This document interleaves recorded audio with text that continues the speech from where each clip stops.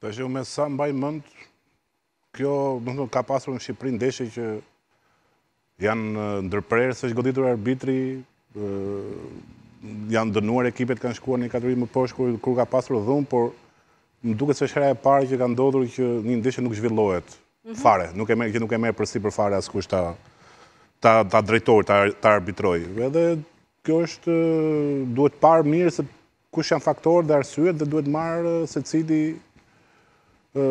ata që marrin vendim me Federatën Shqiptare të Futbollit duhet të marrin një vendim për këtë pjesë sepse është është reklamë shumë e keqe për për futbollin tonë. Mhm. Zhuma.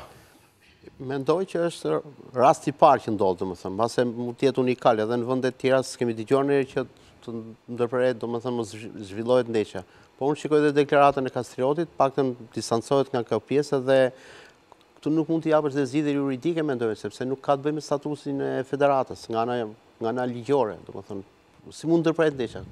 Kjo është domethënë diçka tjetër.